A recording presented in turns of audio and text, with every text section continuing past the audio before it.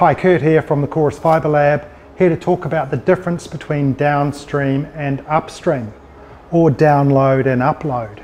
So most of the time when you're using your broadband at home, you're using the downstream because you're downloading a lot of content, whether it's game, game downloads, file downloads, TV streaming, most of your usage is downstream.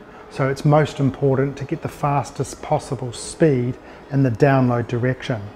But don't forget the upload. Upstream or upload is also very, very important, particularly when you're working from home or you want to produce things at home. I know my kids are often taking videos and uploading them to Google Classroom. So upload is really important. Upstream speed's really important.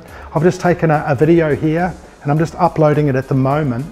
And because we're on a, a 100 meg fiber plan that has a 20 meg upload, it's actually taken quite a while to upload that file. So you do, when you're buying your broadband, you want to look for getting the fastest possible download speed, but also the fastest possible upload speed so that you can share content